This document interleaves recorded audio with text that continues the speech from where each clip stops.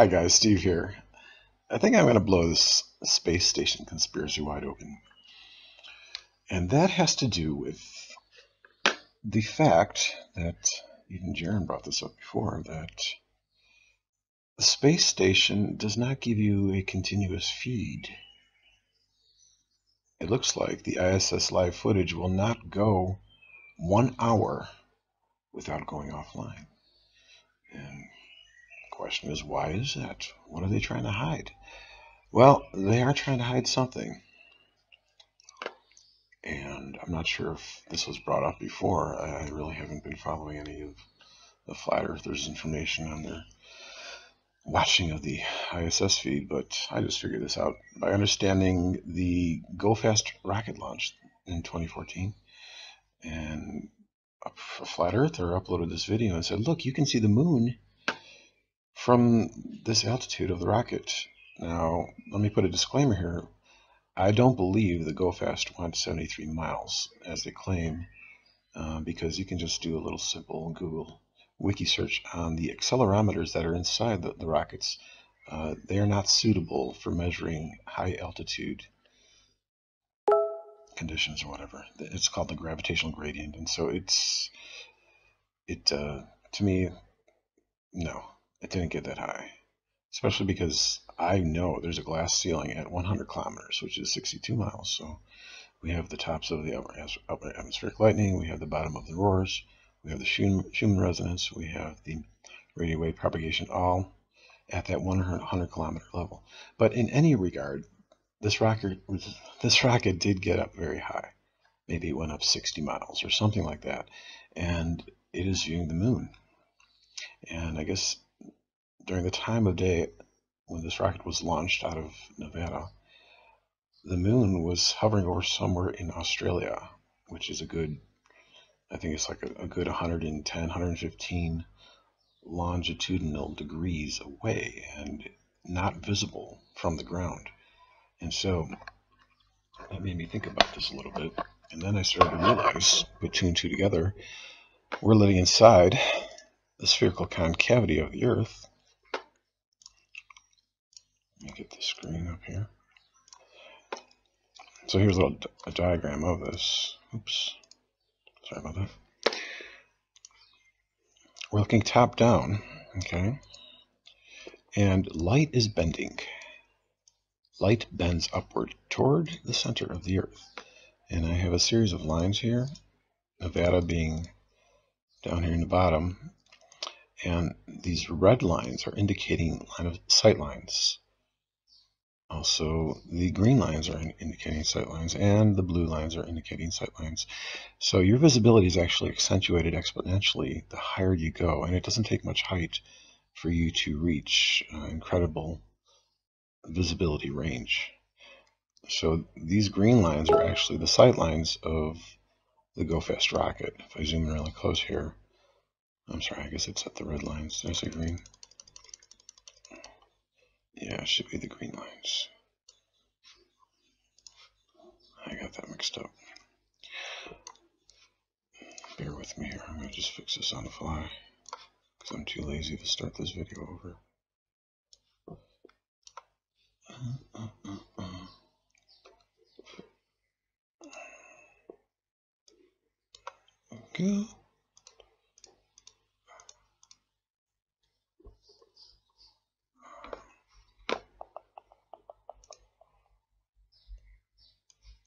Hummer.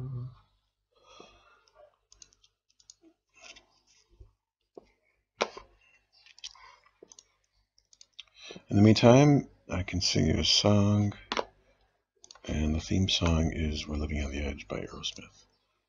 There's something wrong in the world today. Light bulbs getting dim. Something wrong with our eyes. Ba ba ba ba ba. And God knows it is something wrong with our eyes. We're living on the edge. Yes, we're living on the edge of the inside of the earth. We're living on the edge. Living on the edge. Okay, there we go. Thank you, Steve Tyler. All right, so we have this GoFast rocket here, the green lines, okay? It's below the glass sky at 100 kilometers. And the green lines are accentuating your visibility range. Look at that. Now, this is just an estimation of the curvature, but what it's doing is it's enhancing the visibility by curving around more so. So we have the sun right over here, and we have the moon over here. Okay, so let's pretend this is Australia and this is Nevada. So when the rocket, it just takes, you know, 60 miles. And look at that. It enhances your visibility by so much. And it goes all the way around like that. And it curves around back up so you see the front face of the moon again. Now also note is that when you look at this footage here, the moon looks dimmer. It looks kind of like brownish. And that's also because we're not looking from the ground where we have luminiferous ether that's enhancing our illumination. Keep that in mind too. So when you see celestial objects from above the ether, above the ozone layer, um, that's why you don't see the stars in the sky. Because it's, it's you want to, if you want to call it the dynamic contrast ratio or whatever, but it's the ether is not enhancing our illumination. So going back to this understanding of things, if we go as high as the claimed height of the International Space Station, which is 250 miles or 400 kilometers, it would be about right there. So that would enhance our visibility even more. Now watch the blue lines. The blue lines are converging all the way around like that. Okay, so what that means is that from the space station altitude, if it is that high, okay, it might be lower, it might be below the glass sky. Maybe they never went through the glass sky, but I do believe it's up there. I'm not sure if it's if it's manned. it's probably not manned. They probably do that somewhere underground with a clinostat or something like that. But there is something up there, and it's something that's taking pictures. And looky here. Look how much range of visibility you have of the sun. Here's the sun right here. That's the moon and that's the sun. So within these blue lines here, if this is a 360 degree circle, you have 350 degrees of sun. You see the sun more than 95% of the time. Okay, maybe it's a little bit less. You know, I'm just these are just estimates. Okay, maybe it's only within these green lines that you see the sun, but still, that's more than 180 degrees that would be the amount of sunshine, sunshine we would see from the ground. So the higher we go, the greater the greater angular degrees or azimuthal degrees of the sun we see or the moon. Okay, so keep that in mind. So that's why we're able to see this moon from Aust which is hovering over Australia from Nevada when we just go up 60 miles. That's why now, now we get back to the conspiracy, right? First of all, why don't they ever, as far as I know, I, I don't really watch them, but does the space station videos recently? It's it's ever show footage of the sun at any length of time, any given length of time, or the moon? They don't, do they? And also, look, just watch their live feed. I was watching this and I counted 54 minutes now, keep in mind it takes 93 or 92.6 minutes for the, the, the ISS to do one orbital circuit around the inside of the Earth. 92.6 minutes. So half of that would be 46 point whatever, 3 minutes. 46.3 minutes. So if you're down on the ground, um, well, you're not down on the ground. You're up above here. So, okay, you are seeing more than 180 degrees. So 43 minutes, 43.3 minutes is 180 degrees. And they're chopping off this feed. I, am sure they've, um, I'm sure somebody has counted longer than 54 minutes. I counted 54 minutes of when the ISS is basking in the sun. Complete sunshine. Oh, there's some shadows, yeah, but it's still receiving sunlight. That's what I'm trying to get to. Okay. 54 minutes and then they chop it. Okay, it's not even, uh, you know, it's not fading into darkness. It's a chop. It's just a hard cut. You know what I'm talking about, guys? Right there. They'll cut it. And sometimes they won't show the, show, uh, the ISS at all. Okay, what are they trying to do here? They're hiding the fact that the ISS is basking in sunlight 90% of the time. 90% of one revolution inside the Earth. At least 90%. So maybe, or maybe, who knows. But I would say out of those 93 minutes, at least 70 of those minutes, probably more, are when the ISS is actually receiving sunlight. Okay. Now I went into 3D and I made a little mock heliocentric model. And this is the camera at ground. The horizon looks flat. This is the camera at uh, 250 miles with. Oh, I'm not, you're, not, you're not seeing that. Hold on a second. Sorry about that. Let's go back. This is the camera at ground. Horizon looks straight. And then this is the camera at 250 miles high. And actually, I tilted the camera down. So actually, it's kind of funny.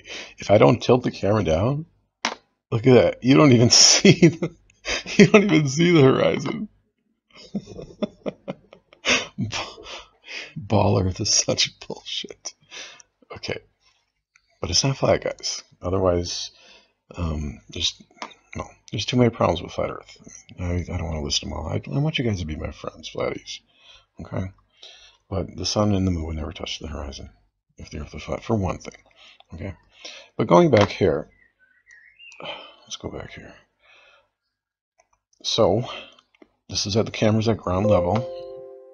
I'll show you the camera. Camera's at ground level. Okay. And then the camera goes up to 250 miles above a round Earth. Alright, so back, go back to the camera view here.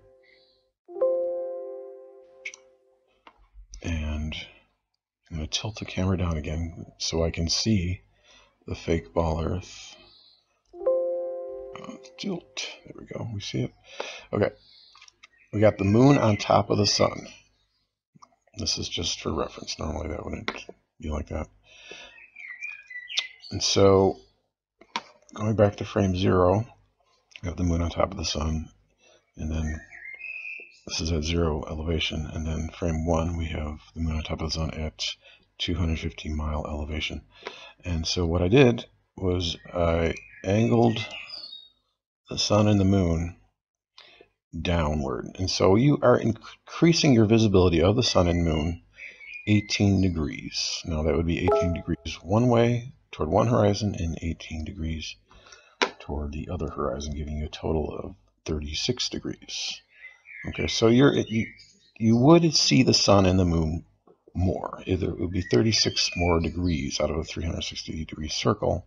So obviously 180 plus 360, I'm sorry, 180 plus 36 is 216 degrees. So, however, I am assuming, I'm guessing, I'm, i know I'm right. This is what's going on. This is why they're hiding the feed uh, because the ISS is receiving way more than 216 degrees of sunlight.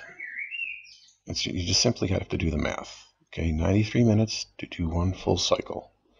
92.6 minutes to do one full cycle.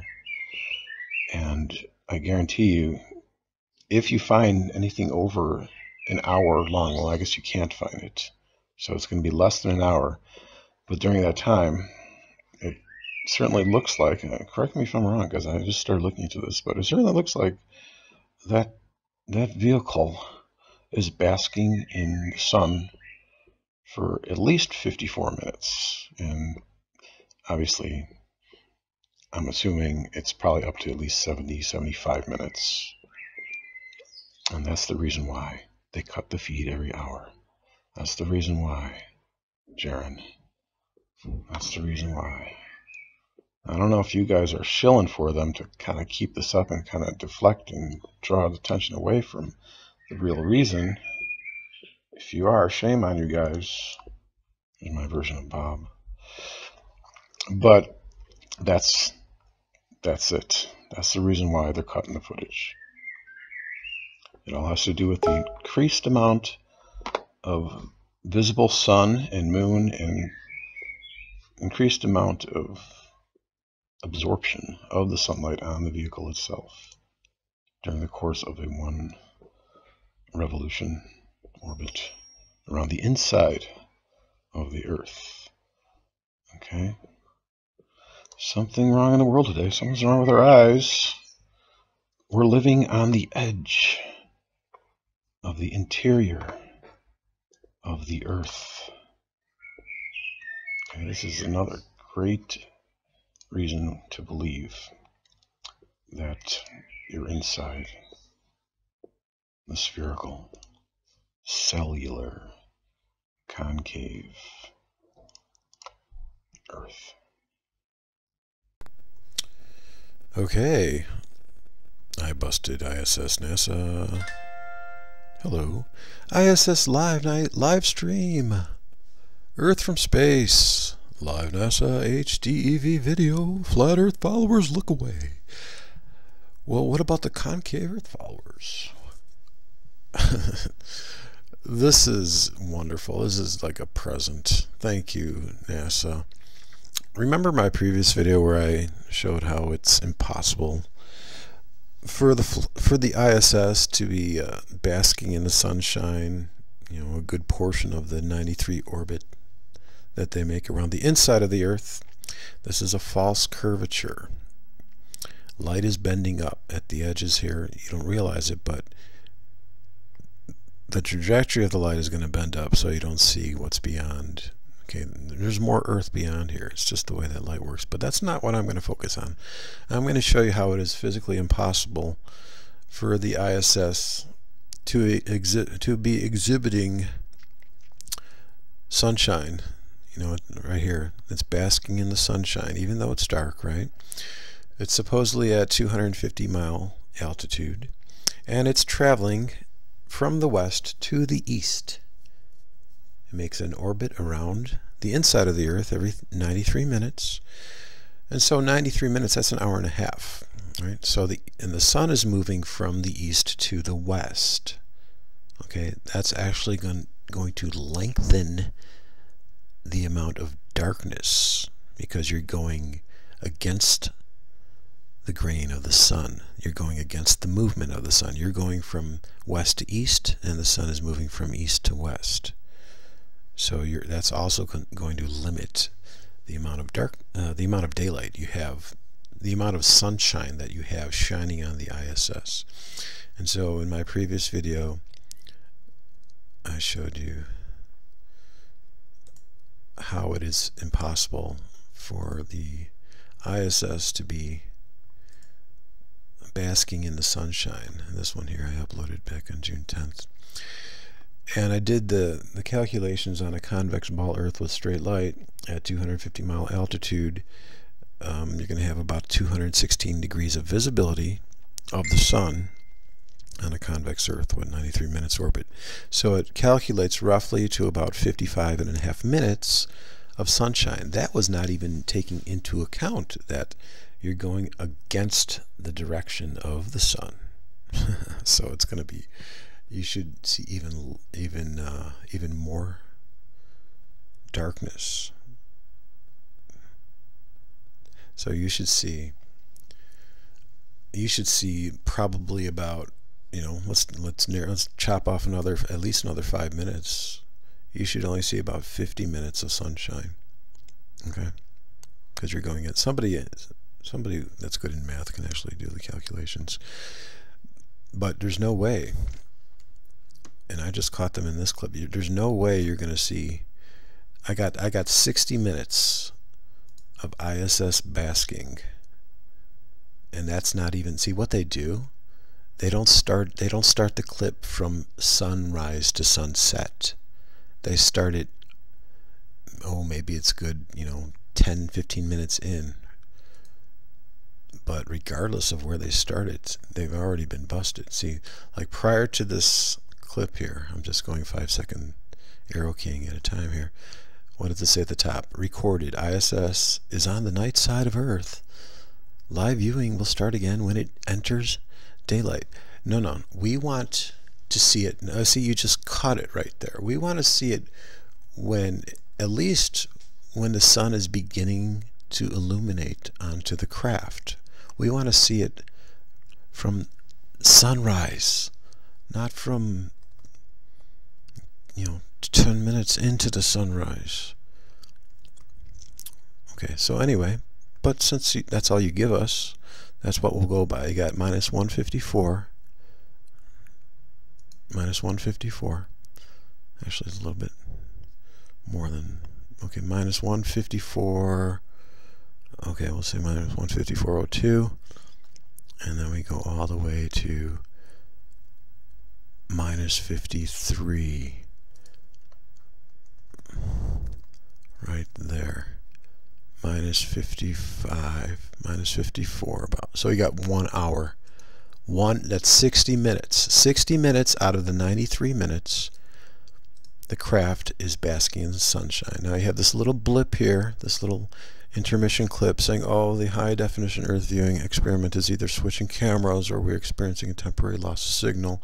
Well, no, they didn't switch cameras because look, if you go before and after that little screen, it's the same camera angle. It's just that the clouds have moved and the shadows on the craft have moved, but it's still in sunshine. So it's the same camera. You got 60 minutes here, and that's when you started the little sequence a good portion after sunrise. I don't think they ever show it when it's going from sunrise to sunset. They always cut it you know, they're always going to, that's the reason why is because, like I said before, you have a greater periphery once you go up higher in the concave cellular earth. It's just that you are,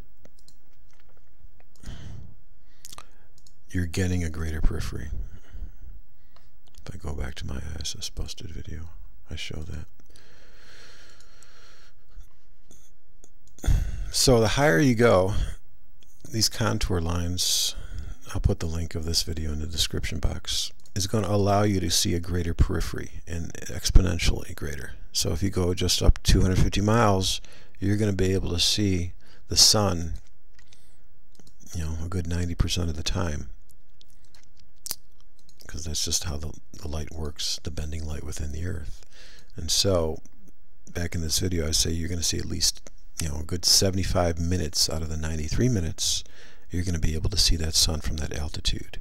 And that's why they never show you a full clip from sunrise to sunset. They always cut it. And what's wrong with just showing darkness? You don't have to, I mean, why don't you just, you don't have to go to this recorded blah, blah, blah. Just show us the darkness. We want to see a full, unedited orbit a full unedited 93 orbit from sunrise to sunrise all the way around. You don't show that.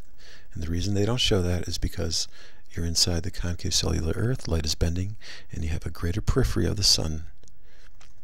You'll be able to see that sun a good 75 minutes out of the 93 minutes. Okay? We already got 60 minutes here. That's uh, already too much because you're going against the sun.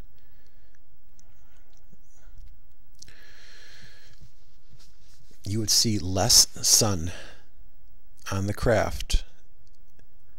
Okay, I mean, if you're, let's just say you're you're you're orbiting. I know it doesn't orbit on on the equator, but let's just say you're orbiting on the equator. Half of those 93 minutes would be 46 and a half minutes, but you're going against the sun, so that's it, you have to like realize that the sun is going to be an hour and a half um, change in longitude over that course of, of 93 minutes. So that's a good, you know, 20 degrees or whatever. So that's going to limit your sunshine as well. You know what I'm saying? So if you were going around the equator, it would be less than half it wouldn't be 46 it'd probably be like 40 minutes but we already got 60 minutes and then that's what it with it clipped that's with it clipped oh this is the recorded part this is where right right there NASA, I want to see sunrise to sunrise. And I want to count the number of minutes that the craft is basking in the sun. I'm going to say it's about 70, I'll say, I'll say 72 minutes. I'll say 70, 74 minutes. We already got 60 minutes here. and that's already way too much. Okay? It's already way too much. oh, oh, you're so busted. It's going above the glass, guys. That's why when we take when we look at the ISS through telescopes on the ground, it has that that coloring effect, that chromatic aberration effect. It's because we're we're viewing it through the glass. It's above the glass. They poked a hole in the glass, those dirty bastards. At least one hole. Many more. And that's why they fucked up the atmosphere, and that's why they sprayed the skies with chemtrails to keep the heat down and to keep the ice from falling. This is very simple. That's why pilots have a pact. They know that they're flying inside the Earth. And that's why this is a big, big secret. Thanks for watching.